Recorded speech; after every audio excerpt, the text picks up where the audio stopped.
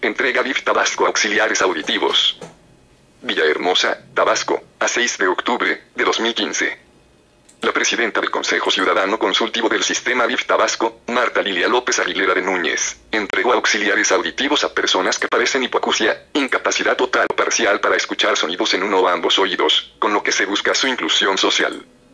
En el evento realizado en el auditorio del Centro de Rehabilitación y Educación Especial, ante familiares de las personas beneficiadas, López de Núñez manifestó que con este programa han cambiado la vida de quienes necesitaban de este apoyo para integrarse de mejor manera a sus actividades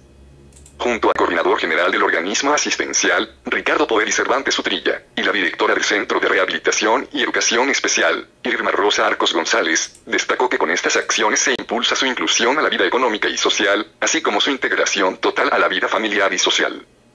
En su intervención, Cervantes Utrilla aseguró que este es el resultado de la suma de esfuerzos, y con su ejemplo, los beneficiarios demuestran que no existen barreras para seguir adelante.